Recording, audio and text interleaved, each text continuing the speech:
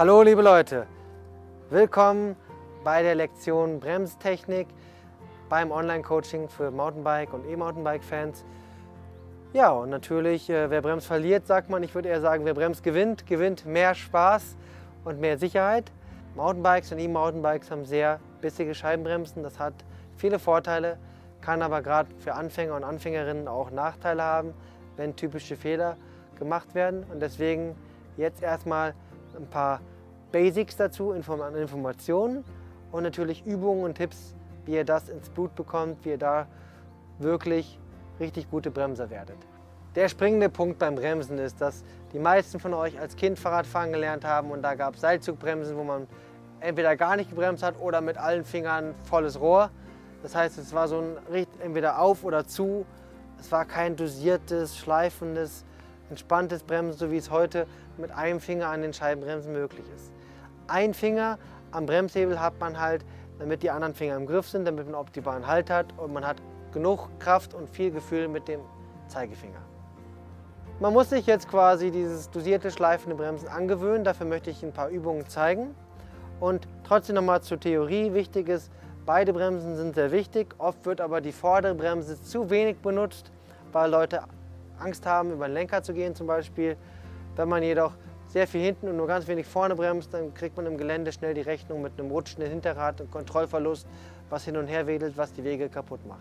Deswegen, ganz wichtig, auch die Vorderbremse ist sehr wichtig und beide sollte man in der Regel so verwenden, dass sie nicht abrupt blockieren, sondern dass man dosiert gefühlt bremst, gefühlvoll bremst und manchmal natürlich auch stark in die Eisen geht, aber auch das mit Gefühl macht.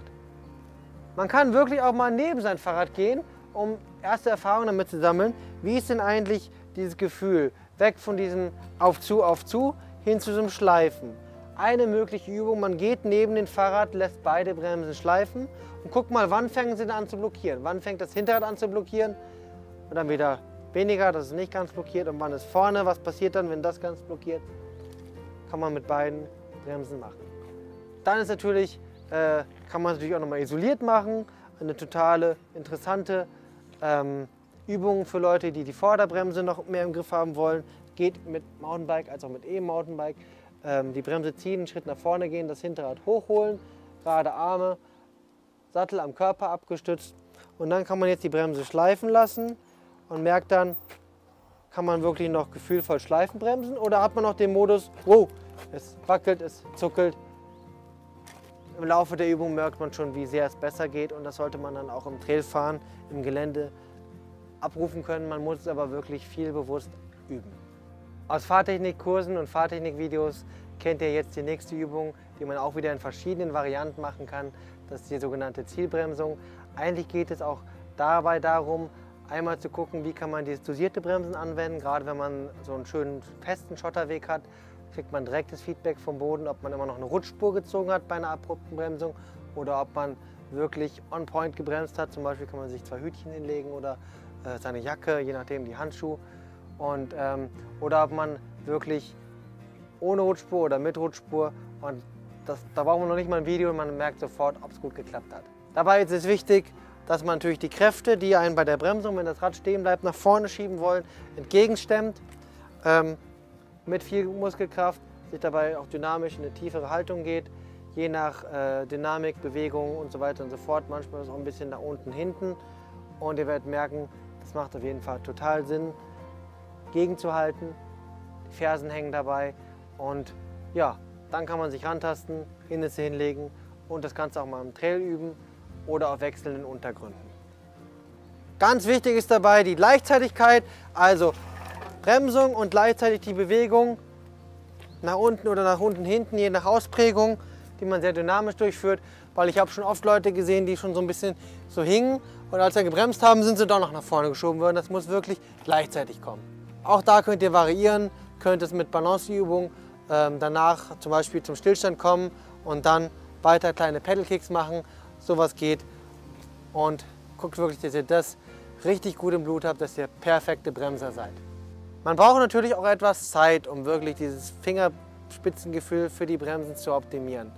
Und oft ist die Frage, wenn jemand zu so einem Stressbremsen neigt, also der Trail wird steiler, technischer, auf einmal kommt wieder dieses Auf, zu, auf, zu, dieses Zuckelbremsen, was dann so einen kleinen Teufelskreis verursacht, mit rutschen Rädern, Kontrollverlust und so weiter.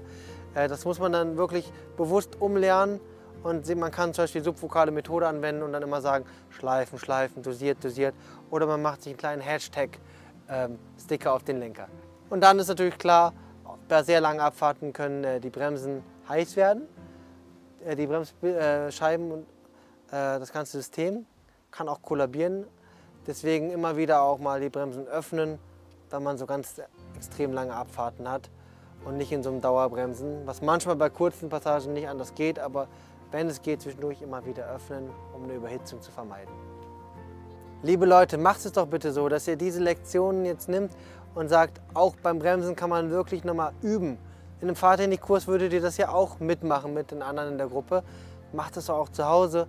Ähm, setzt euch kleine Challenges, kurze Bremswege, ohne Rutschspur. Ähm, steigert das Tempo, wie lange könnt ihr es schaffen, noch wirklich total kurzen Bremsweg zu haben. Also Dinge und fahrt möglichst viele verschiedene Untergründe, wenn ihr im Wald unterwegs seid, um auch da ein Bremsgefühl zu bekommen und zu wissen, wo sind die eigenen äh, Grenzen der Bremsen und, und der eigenen Fähigkeiten. Ja, dann würde ich sagen, Break, Break und ab geht's.